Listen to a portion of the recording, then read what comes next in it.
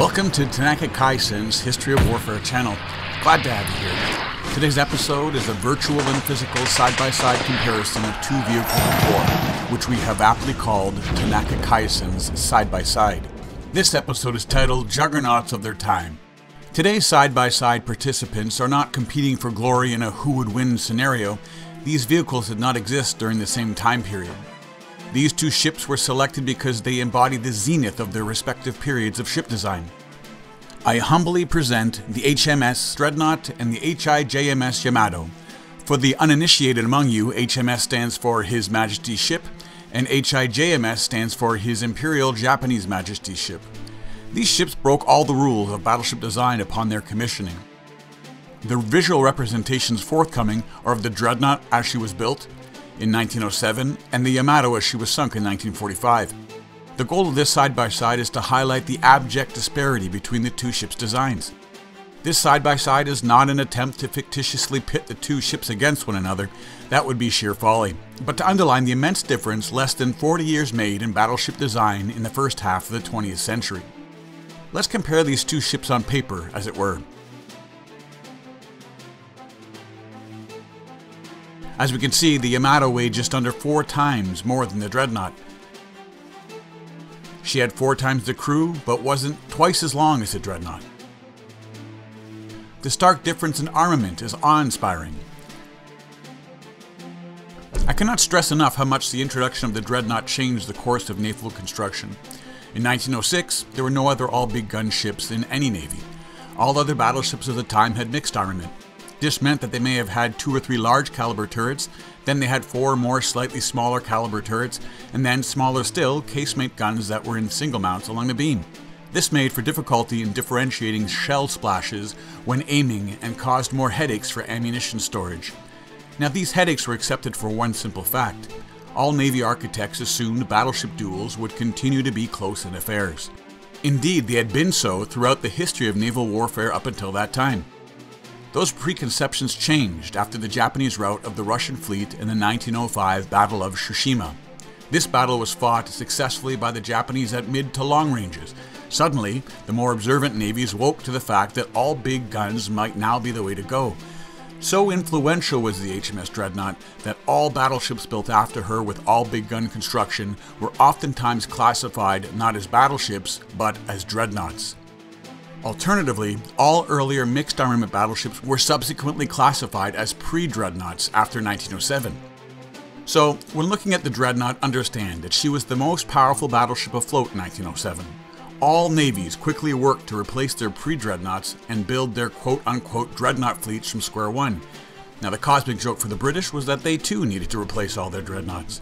A battleship building contest ensued, principally between Great Britain and Germany, culminating in the modern navies that fought for supremacy of the oceans in World War I only a few short years later. The Yamato was built in complete secrecy in the late 1930s and early 1940s. Her specifications were hidden so well that even after she was sunk in 1945, four years after putting to sea, the Allied navies thought she was like the gaggle of American battleships of the time, which were all armed with the smaller 16 inch guns. Unfortunately, by the time the Yamato and her sister ship, the Musashi, were commissioned, naval air power had begun to make its ultimately successful bid to become the main offensive arm of all navies, usurping the battleships once and for all. The Yamato was the most heavily armed and most heavily armored battleship in history. One of her triple 18.1 inch turrets and barbettes weighed as much as a fleet destroyer of the time. Additionally, the 18.1 inch gun was the largest weapon ever installed on a warship. Many naval aficionados called the German Bismarck class the most powerful battleship of World War II, but once the Yamato was commissioned, she dwarfed the Bismarck class completely in all respects save for the top speed. On paper, there was no other single battleship in the world in the 1940s that could have successfully gone toe to toe with the Yamato and come out the victor. Without further ado, let's see these two dreadnoughts side by side.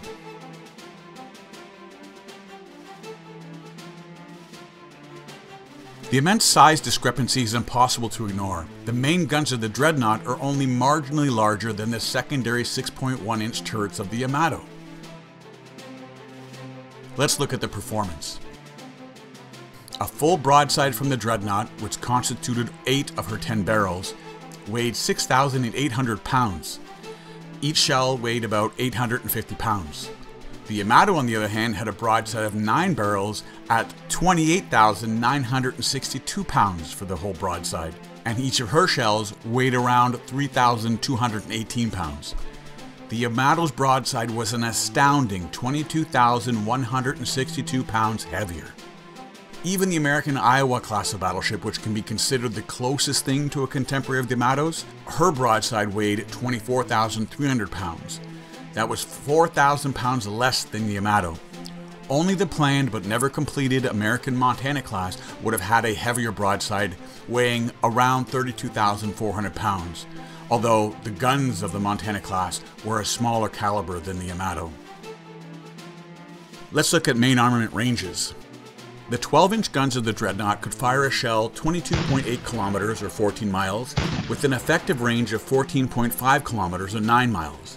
The Yamato, on the other hand, could hurl an 18.1 inch shell 42 kilometers or 26 miles, and effectively fire said shell 25 kilometers or 16 miles. Let's talk a little bit about what effective fire is. Effective fire can be defined as fire that can be spotted and aimed correctly. Without radar, the Yamato could only fire her shells 25 kilometers, and this was really due to the curvature of the Earth. No ship or person can see over the horizon. So the Yamato could fire a shell 42 kilometers, but have no idea what she was aiming at or if she had indeed hit her target.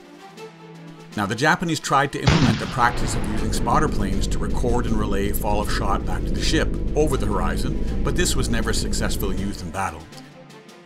Now, the Iowa class of battleships were using radar controlled fire by 1945 for their 16 inch guns. So, the Iowas could successfully fire on the Yamato over the horizon without the much fear of accurate return fire from the Yamato. The Yamato had an absolutely overwhelming number of anti aircraft guns in the guise of the 25mm triple gun mounts. Now, the proven lack of effectiveness of these motorized mounts aside, the Dreadnought can't realistically be expected to compete since in 1907 attack aircraft didn't exist. On a future side by side, we'll be looking at the Yamato as commissioned in 1941 versus the Yamato we see here in 1945. If we focus on the profile of these two ships, we can clearly see that the Yamato's rangefinder was placed very high on the ship's superstructure, giving her an effective range that was 10.5 kilometers further than the Dreadnought's 14.5 kilometer effective range. Let's look at the armor. Now you're probably wondering, how come the Yamato weighed nearly four times as much as the Dreadnought, but wasn't that much larger or longer than the Dreadnought? Let's compare the armor. Although in profile we can see the bulge armor on the Yamato, the armor hidden within is elusive. The easiest comparison is to look at the total weight of armor of the two ships. The Dreadnought was heavily armored for her time.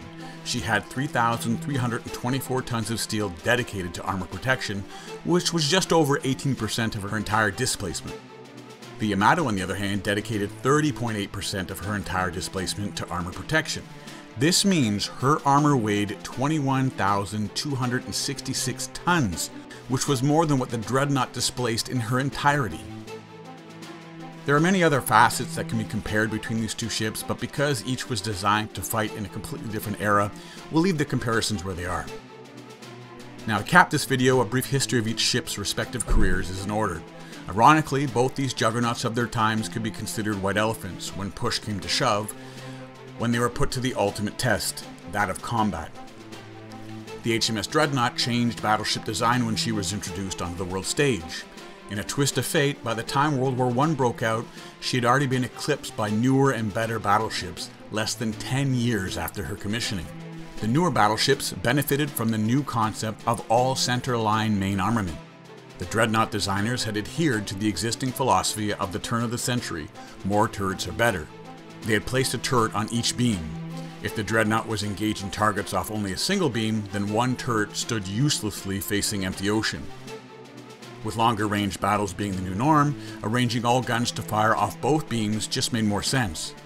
During the Great War, the Dreadnought earned the distinction of being the only battleship in history to successfully engage and sink a submarine when she rammed the German U 29. Unfortunately, she did not participate in any naval battles and was relegated to coastal defense duties midway through the war. After the end of hostilities, she was put in reserves in 1919 and sold for scrap in May of 1921. Now, the Yamato had a marginally better war record. She was kept from battle from 1941 to 1945, ironically because she was deemed too expensive to be squandered on what the Japanese Navy Command identified as skirmishes. She was repeatedly held back in anticipation of the decisive battle. Indeed, Japan Navy Command was so fixated on this imaginary World War II recreation of the Battle of Tsushima that on several occasions they did not commit their larger ships to battle even when they were available and would have had a pronounced effect on the outcome of said battles. She was known as Hotel Yamato by some Japanese sailors and soldiers due to her apparent inactivity with regards to combat and the fact that she sat at the Truk Naval Base for nearly a year, spanning 1942 and 1943, leaving only for a single day. One can only speculate what would have transpired during the campaign for Guadalcanal had the Japanese had the fuel and the foresight to send the Yamato and Musashi, and even the quote unquote smaller battleships Nagato and Mutsu, sailing into Iron Bottom Sound a few times. Now, apart from being torpedoed on Christmas of 1943, she was not pressed into frontline action until October of 1944 in the defense of the Japanese Philippines occupation. She was attacked by aircraft, but the brunt of the attacks were focused on her sister ship, the Musashi, who succumbed to her damage.